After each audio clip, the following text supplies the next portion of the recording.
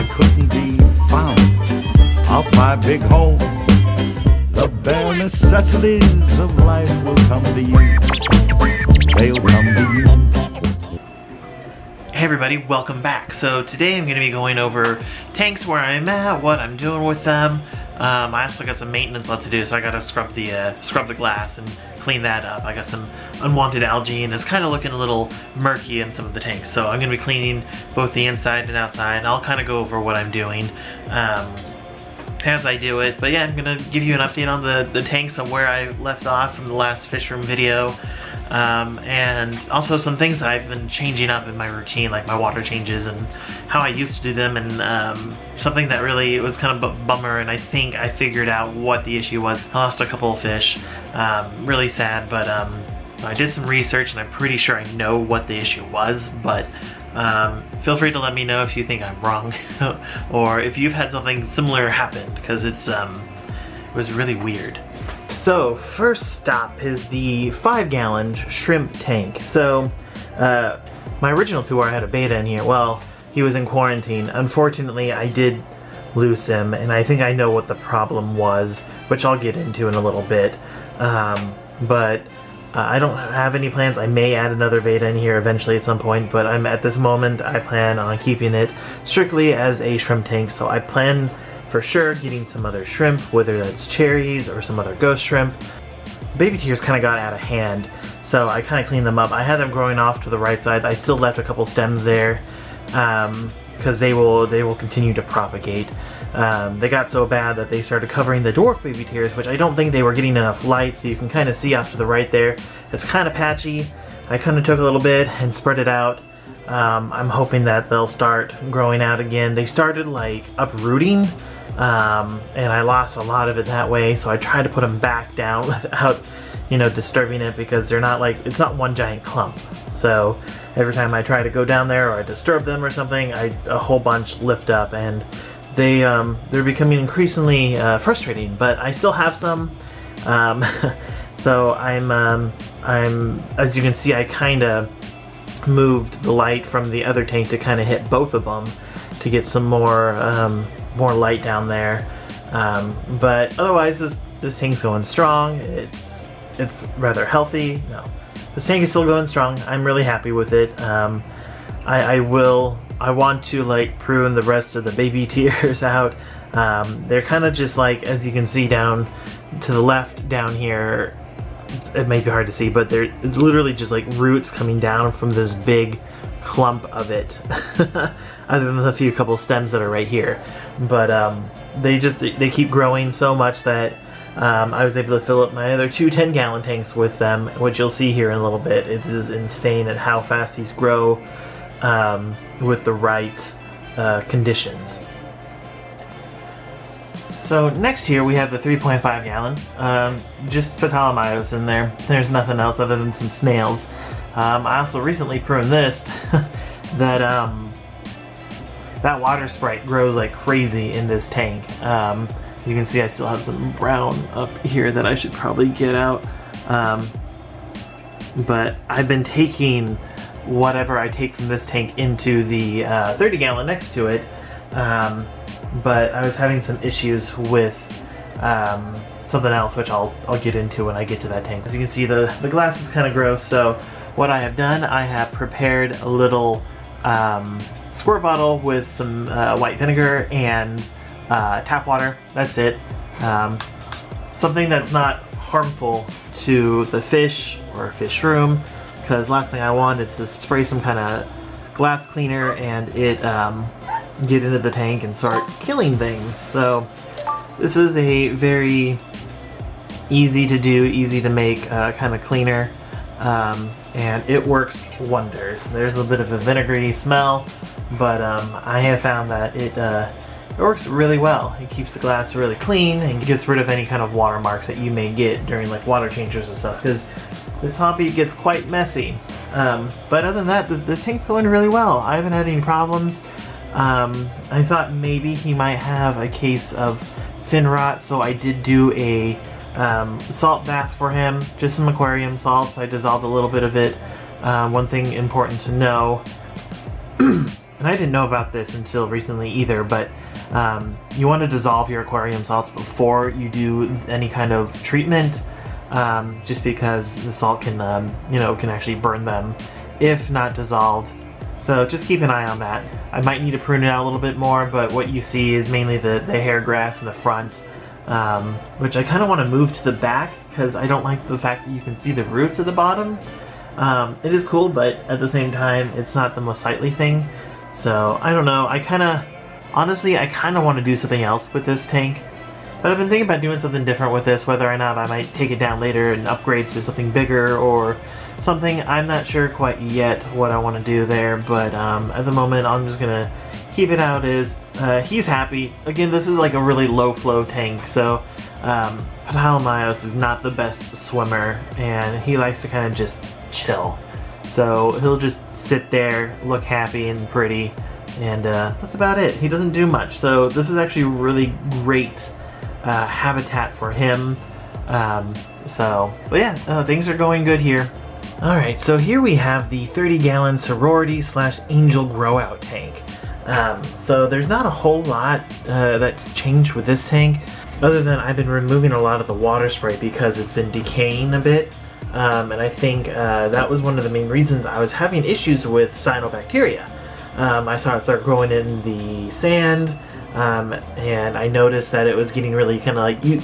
It's this really like stringy, um, kind of clumpy, like um, green back uh, algae looking stuff. Um, but it's it's rather nasty, and it just it got everywhere, but mainly on the um, decaying uh, water sprite. So I think that was the main issue. So I've removed all that, and actually I'm going to go ahead and remove um, the stuff in the front too, because you can see it's kind of browning.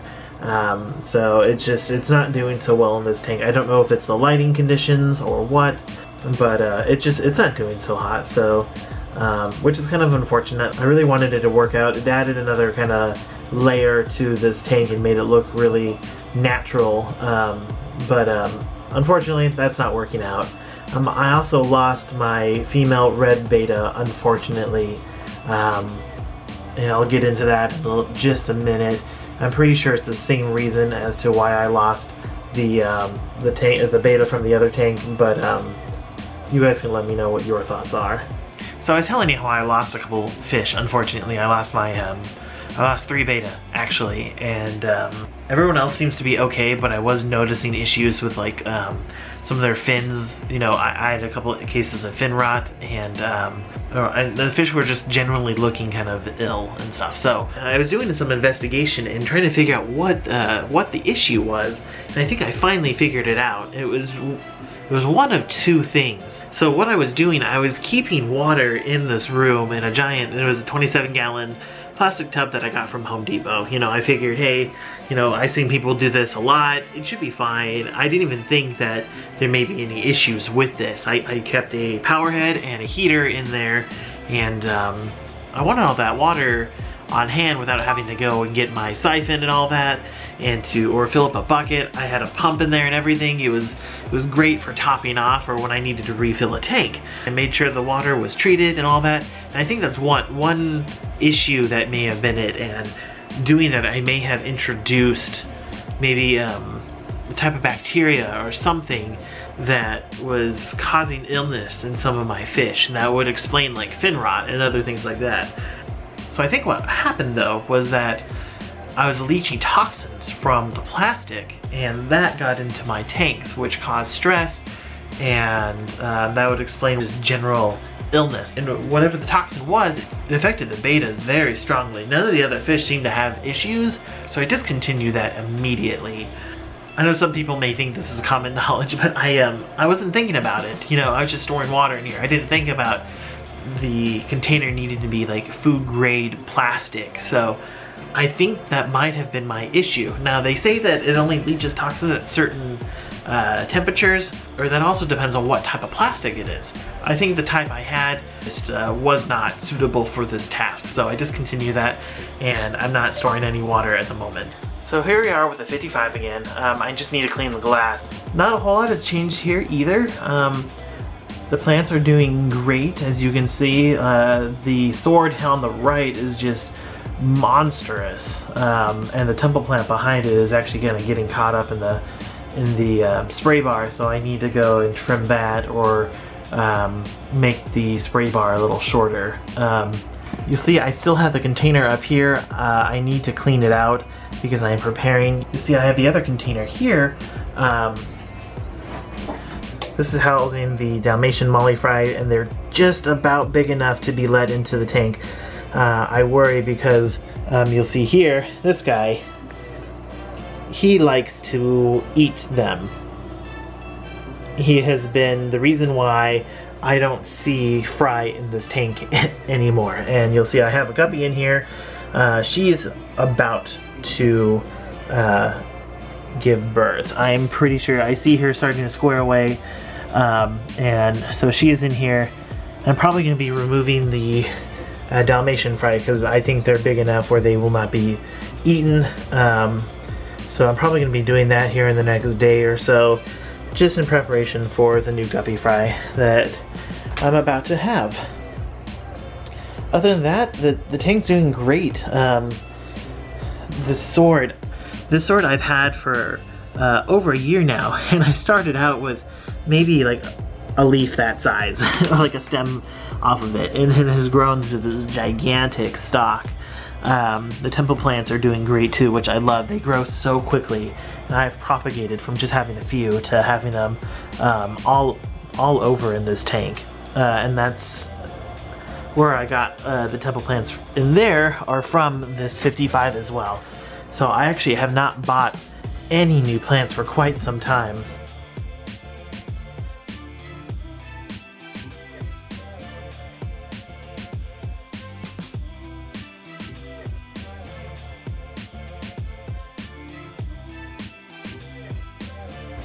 So here we are with a 5 gallon fluval spec. I have not done a whole lot with this tank. I kind of want to redo it because it it feels a little overcrowded um, and but I like the natural kind of stream look of it so I don't know I'm not sure what I'm doing with this yet but um, I do kind of need to prune it I think um, these are all like really low light plants so they're doing great in here I don't have to worry about it there's not much maintenance to this tank other than you know my daily or my uh, weekly water changes and uh, clean out the substrate. You can see our our Lone Star um, Assassin Snail, the only one I have, um, and he keeps this tank pretty clean. As you can see, all the um, snail corpses. but no, he, he goes to town in here. I was thinking about getting a few, um, a few more for the other tanks because I have a couple uh, snail issues, but they seem to be like they they get to a certain level and then they stop. Last but not least, we have the two 10 gallons. So you can see, as I was telling you, these baby tears are just, they populate like crazy. And keep in mind that I started off with about a bunch this big and I lost all of it except for one stem. And so all the baby tears, both in that tank, this and the five gallon, all came from that single stem. And this has been maybe, I want to say maybe eight months worth of propagation and I've also thrown out quite a bit because I just don't have space for it. But this is the Rainbow Fry grow out tank. So I have three in here that originally these were shrimp tanks. So uh, they came in here by a total accident and surprise to me. Um, they're kind of difficult to find. They're still rather small, but the more I see them, the more I think that they are rainbow fry. I had actually no intention of breeding them, but I think um, they came in on this sponge filter when I moved it to this tank. Originally, these, um, I was going to be breeding shrimp